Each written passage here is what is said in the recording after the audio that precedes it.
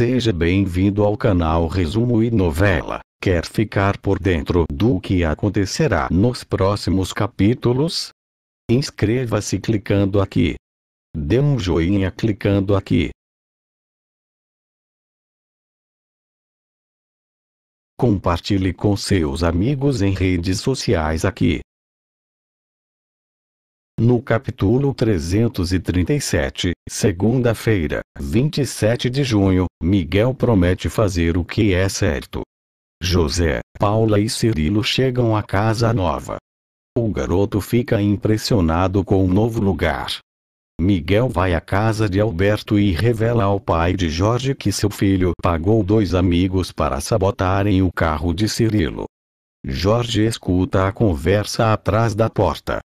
Cirilo fica encantado com cada detalhe de seu novo quarto. Porém, a sua maior surpresa e alegria foi a descoberta de que sua janela fica de frente para a janela do quarto de Maria Joaquina. Cirilo vibra muito ao descobrir que agora é vizinho da Patricinha. A patrulha salvadora se reúne na casa abandonada e conversa sobre o que farão nas férias. Cirilo olha pela janela de seu quarto e vê Maria Joaquina e Jorge discutindo. O garoto fica irritado ao ver o ricuinho gritando com a patricinha. Inconformado, Cirilo vai à casa de Maria Joaquina para defendê-la. Jorge destrata o garoto e o chama de novo Ricó. Cirilo avisa a Patricinha que será seu novo vizinho. Os meninos discutem e começam a brigar. No mesmo momento, Paula e José chegam e apartam a briga. No capítulo 338, terça-feira, 28 de junho, as crianças conversam na casa abandonada sobre o que vão fazer nas férias. Laura dá a ideia de fazer um almoço romântico em homenagem aos professores Helena e René. Apesar de alguns meninos não concordarem, a maioria vence e eles começam a planejar. Helena recebe em sua casa um bilhete e um presente. Ao abrir a caixa ela percebe que ganhou um urso de pelúcia e ao ler a carta, pensa que foi o professor que a enviou. Na praça, Coquimoto e Paulo observam René. Os garotos colam uma carta na bola e chutam para perto do professor. René pega a bola, sem notar quem a chutou, e lê o bilhete que está escrito: Siga o seu coração e te darei uma surpresa. Apaixonado, o professor pensa que é um bilhete de Helena. Alberto pede desculpa a José pelo comportamento de seu filho na corrida. Paula avisa a todos que a família se mudou para o mesmo bairro e Rosana debocha. Os pais de Maria Joaquina contornam a situação e ficam felizes com a notícia. As crianças preparam o almoço romântico para os professores, com a ajuda de Heloísa. Maria Joanina aceita o convite de Cirilo e vai até sua casa. O garoto fica feliz ao vê-la e promete mostrar o novo local onde mora. Alberto leva Jorge e seus dois amigos, Eric e Atílio, à casa de Cirilo. O pai de Jorge avisa a José que arcará com todas as despesas que o filho causou e diz que ele será castigado. Eric e Atílio pedem desculpa a Cirilo, mas Jorge se recusa. O ingênuo garoto pede a Alberto que não brigue com Jorge. No capítulo 339, quarta-feira, 29 de junho, Helena chega à casa abandonada e se surpreende com toda a decoração. René aparece e a professora agradece ao namorado pela surpresa, mas o professor garante que a ideia não foi dele. As crianças aparecem e começam a servir o almoço, o casal se surpreende. Na casa de Cirilo, Jorge não se redime e indestrata o colega. José fica irritado ao ver a atitude do garoto, mas o riquinho não se importa e continua. Alberto obriga o filho a pedir desculpa. O pai de Jorge agradece Cirilo por ele ser tão compreensivo. O garoto acredita que o Mauricinho ainda irá mudar. Olivia avisa Graça que Firmino entrará de férias. A faxineira fica inconformada que ela terá que cuidar de tudo sozinha. Cirilo espera Maria Joaquina para irem juntos ao jogo. A Patricinha entra no carro do garoto e eles saem. Jorge observa tudo.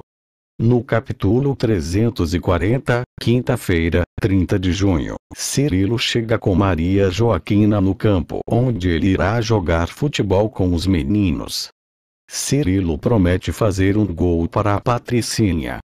Maria Joaquina vai até as outras meninas que falam em tom de brincadeira que os dois estão namorando.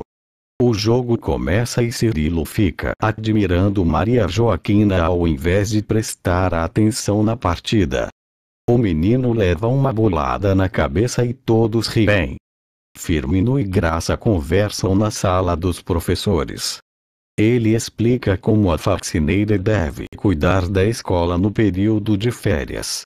Ao mencionar as chaves que sempre carrega, Firmino diz que elas guardam muitas histórias.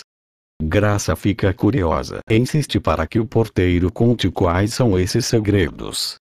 Firmino revela que numa noite Jaime, Paulo e Mário entraram escondidos na escola usando uma cópia de sua chave.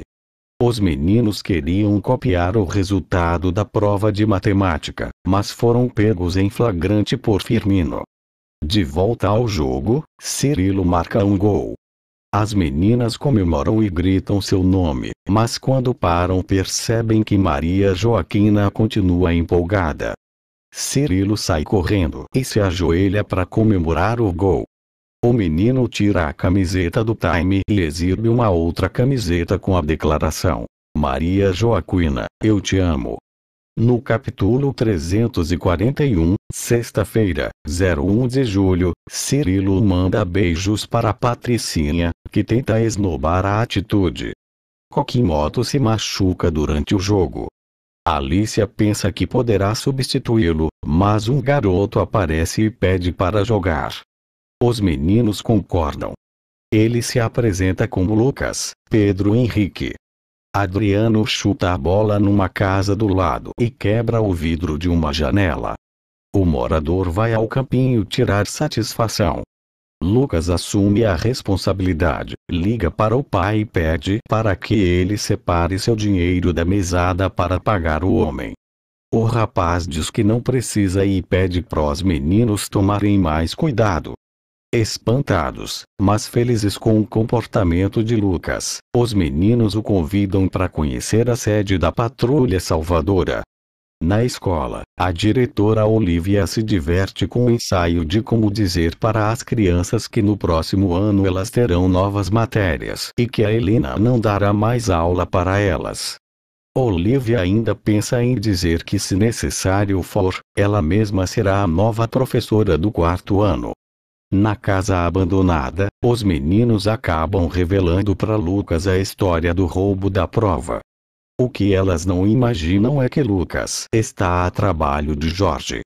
O menino conta tudo para o ricuinho, que lhe orienta a sumir por uns tempos para não levantar suspeitas. Valéria e Bibi vão até a casa de Helena, as meninas dizem que estão com a missão de conseguir manter Helena como professora da turma no próximo ano.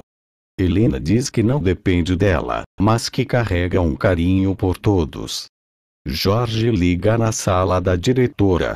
O menino engrossa a voz e se identifica como defensor da justiça.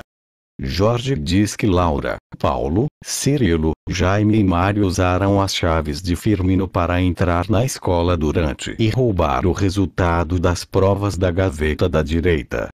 Olivia fica inquieta com a notícia. Jorge desliga o telefone e comemora. Olivia chama Firmino em sua sala e questiona a história das chaves. Fonte Carrossel, novela do SBT, resumo dos próximos capítulos. Olá, obrigado por assistir nosso vídeo, resumo e novela. Saiba dos próximos resumos, inscrevendo-se em nosso canal, clicando aqui. De um joinha clicando aqui, e ajude a crescer nosso canal. Compartilhe nosso vídeo nas redes sociais. Até a próxima.